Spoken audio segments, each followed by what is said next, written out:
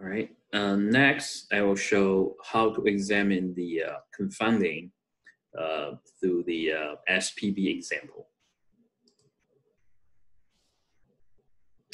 The scientific question here is uh, whether relationship between age and SPB is confounded by gender.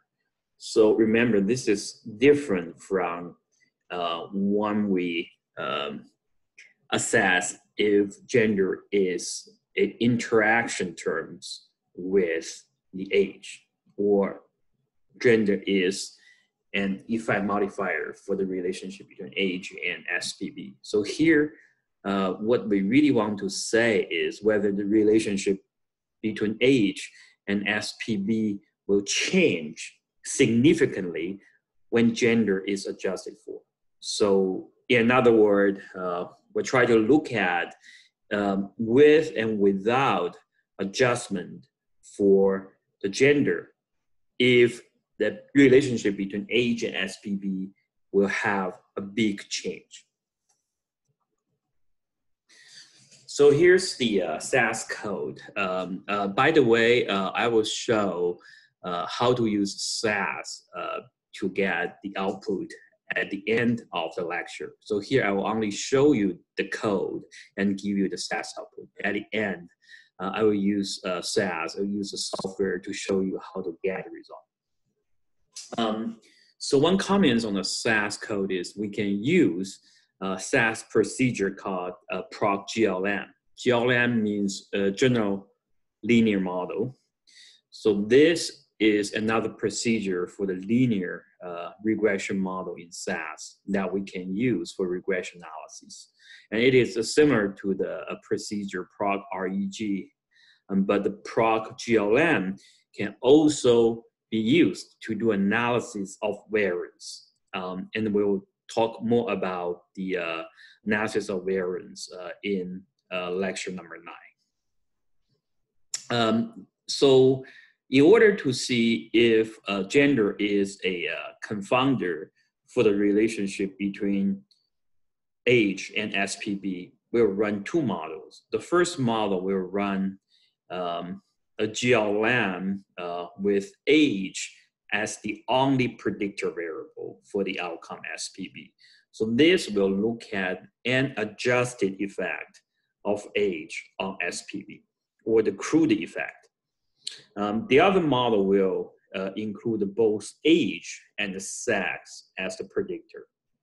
Um, and here we also can have a estimate of the effect of, of age on SPB. This will called adjusted effect or an adjusted estimate uh, for the parameter beta 1. Okay, so basically the procedure is pretty simple. The SAS syntax, we just use SAS proc GLM, and then we need to uh, identify data resource. And then the main part is this model statement. Um, this will specify the mean model. Uh, so we'll use the first model, we use SPB, uh, systolic blood pressure as the outcome, which is on the left-hand side of the equal sign. And then on the right hand side equal sign all the predictor variables. And here is just a simple linear regression. We use age as the only predictor or exposure. Um, and then slash solution, the solution will ask for a solution table. The solution table uh, is just the parameter estimate table. So this is a little bit different from a PROC REG, the regression procedure. So for the regression procedure, we do not have to specify the solution, and then the SAS output will include the parameter estimate. But in the PROC GLM, you have to say solution, or you can just use a shortcut, uh, just one letter S, um, and this is also shows solution. So without um, indicating the solution table, uh, the PROC GLM will not output the uh, parameter estimate. And uh, you can still remember the SS3. So this will report type 3 sum of squares. And also the CLPARM uh, will ask SAS to output the, the confidence limit or the uh, uh, confidence interval. Uh, by default, this will be a, a 95% confidence interval. All right, and similar for the second model, um, we have the model statement, and we should use age and sex as the uh, uh, predictor variables, and also we have the same specification. The only one thing different from this one with the, the first one is because we include the sex as a dummy variable. Uh, so that's to say um, a variable with two levels, one reference level uh, and the other level higher than the reference level different from reference level. Um, and um, in order to specify this uh, gender or sex as a dummy variable, so we need to use this class uh, statement. So the class statement um, will specify the variable as a uh, categorical variable. So here, sex will be a dummy variable. Uh, and we set the reference group as a zero. Um, so remember, zero is a female and one is male, and therefore we'll use female as the reference group or the baseline group, uh, quote unquote baseline group. Um, and without specifying the reference group, SAS by default will use the largest number as the reference group. So remember here we code the gender as zero and one. So without specifying the reference group as a zero or female, SAS by default will use one or male as the reference group. But if we specify the reference group using this syntax, um, and SAS will treat zero or female as the reference group. Please keep in mind, this is very important uh, when we uh, specify a categorical uh, variable. Okay, so here's the SAS output.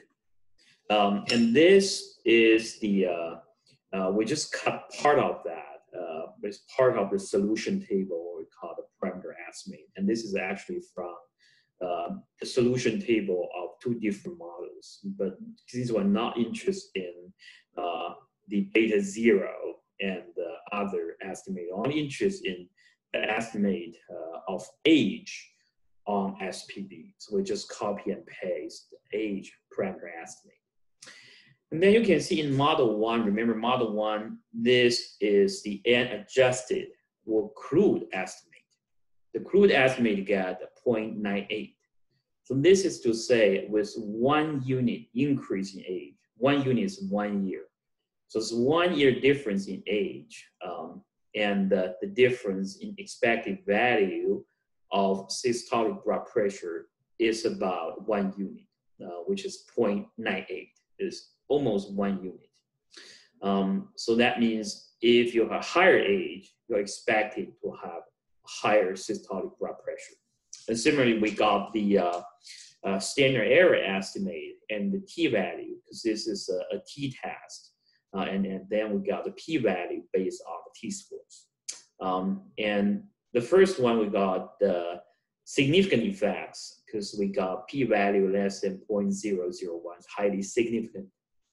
And we can see um, the 95% uh, confidence intervals from about 0.8 to 1.16, so which uh, not include the zero uh, within the confidence interval, so which really means is highly different from zero.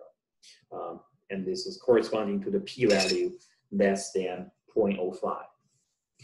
Um, and um, the second model, um, the parameter estimate we got is 0.956. So this is interpreted as the expected difference in the systolic blood pressure for a one year increase in age when the gender is sex as a constant or we hold the gender constant. So this really say like say, um, you compare a two hypothetical population uh, with one year difference in age for male and also you compare them for female. And what you got is about 0.96 unit difference in systolic blood pressure for one year increase in age. Um, remember, this is adjusted, and this is an adjusted or crude estimate. And this N adjusted uh, uh, parameter beta also get the significant uh, result. Gets a p-value less than 0.001 and t-score is 13, which is really high. But remember here, our goal is not to see if age is a significant effect on SPB. So here our goal is to look at if gender is a confounder for the relationship between age and um, systolic blood pressure. Um, and therefore, what you really want to compare is if there's a significant difference between the first N adjusted estimate and the second uh, adjusted estimate. Uh, so when we're adjusting for uh, gender. Um, so here's the conclusion. The estimate for the age in 95% confidence limit in model one does not change much uh, when adding sex into the model. So it's really comparing this 0.98 with 0.96. Um, and we can see if you can do a, a simple calculation, it's very easy. You can see this difference is less than 10% of the change. So it's basically you use 0.95 minus 0.98 divided by 0.98. That's the percent change. Uh, you can see this is less than 3% change, and this definitely less than 10%. And therefore, per the 10% rule, sex does not confound the effect of age on systolic blood pressure.